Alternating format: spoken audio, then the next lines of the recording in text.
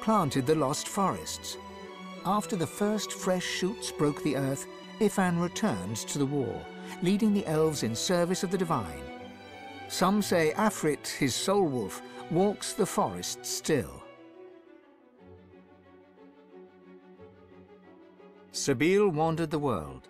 She became a household name, famed the realm over as a traveling hero, celebrated wherever she went.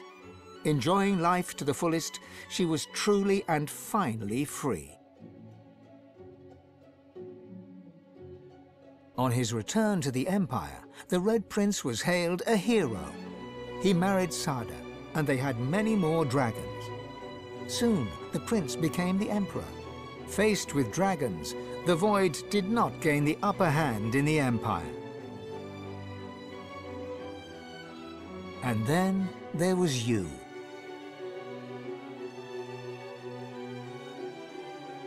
And you, Lohse Divine, what did you do with your power?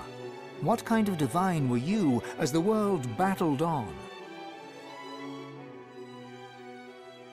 Did you show mercy or strength? Did you sacrifice others as Lucian had done? Did you regret becoming divine?